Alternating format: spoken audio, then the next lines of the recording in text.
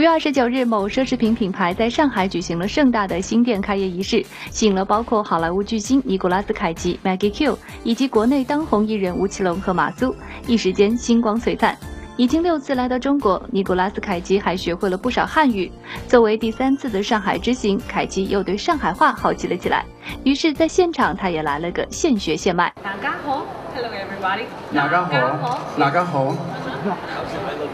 Which I love you. Oh, Krishna. Okay, ready, ready, ready, ready, got it, ready. One, two, three. Krishna. 近日有媒体拍到吴奇隆和马苏逛街至深夜后，两人一起回家，疑似地下恋情曝光。而此次两人的携手亮相，自然也吸引了所有媒体的关注。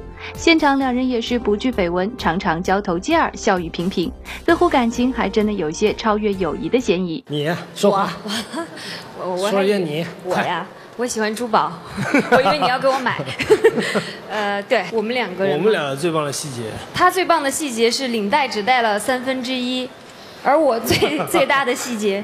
对，把领带系腰上了。对，没错。吴奇隆目前正在赶拍《步步惊情》，不过下一部他投资的古装喜剧也即将在下半年启动。只不过这一次将不再延续上一部《白发魔女传》的阵容，女主角并不是马苏。现在很顺利，在筹备当中了。那应该最棒的造型，大家再再等一段时间吧。呃，可能下个月就会有一些新的消息可以跟大家分享。这个问题特别好。OK OK。啊，回来回来。呃，我跟马苏我们另外有不同的计划。嗯，我们会有一些呃呃，希望明年可以有一些新的安排。呃。这样可以吗？我们的友谊是地久天长的，就是呃，随时都都可能会有一些合作的机会，所以我不怪他。虽然此前吴奇隆和马苏的感情绯闻闹得沸沸扬扬，不过两人到目前为止只肯承认大家只是好朋友的关系。对于和孔令辉十年感情今年将修成正果的传闻，马苏也当即予了否认。至于吴奇隆对于自己的感情问题，他更是挪于记者来逃避话题。谁报的？谁？